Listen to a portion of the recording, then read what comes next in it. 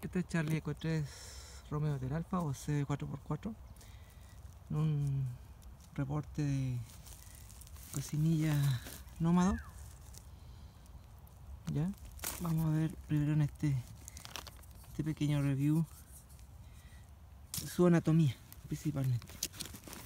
Trae un bolsito ¿no es cierto? Eh, y aquí está la estufita, trae unas instrucciones en inglés. Aquí está la estufita.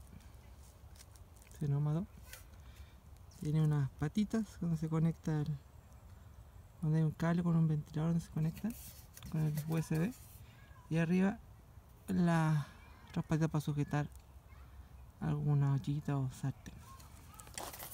Entonces no lo puedo ver acá, ¿no es cierto?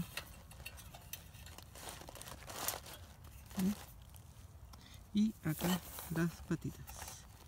También ahora como este es chino no, la calidad no es la mejor de todas. Las latitas me parecen un poco encuencle. ¿Mm? Hawaii ese es más o menos la y viene con un set con una pinza.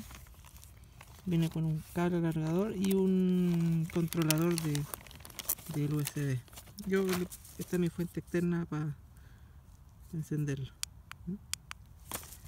Entonces, en este primer reporte vamos a mostrar solamente estos, elementos de la cocinilla.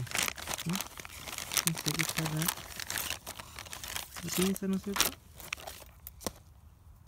Para agarrar los tronquitos, me imagino esta estufa todavía no la he usado así que en otro video voy a mostrar cómo funciona el cable y por último un adaptador entre el cable la fuente de poder y la cocinilla yo acá hice unos hoyos para marcar ahí las intensidades de, mayor de menor a mayor así que eso sería el ese sería el reporte por el momento cualquier duda me escriben ahí en YouTube. Esta está nueva, no está usada todavía.